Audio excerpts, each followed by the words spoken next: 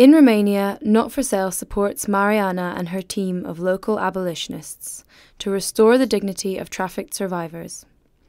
We work with men, women, and children who have been trafficked all over the world, from Romania to France, Algeria to Romania, and from town to town within Eastern Europe.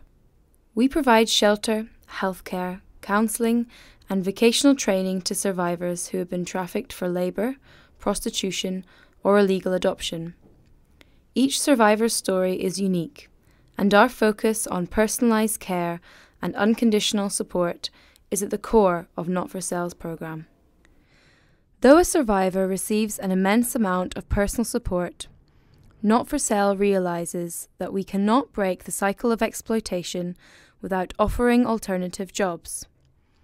To bridge this gap, not for Sale operates a small farm where survivors of human trafficking live and maintain greenhouses to sell produce to local restaurants and catering companies.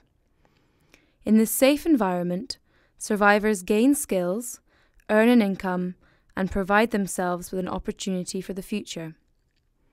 With a long term goal of stopping human trafficking, not for Sale is engaging local and global businesses to employ survivors through the purchase of goods created by Not for Sale partners.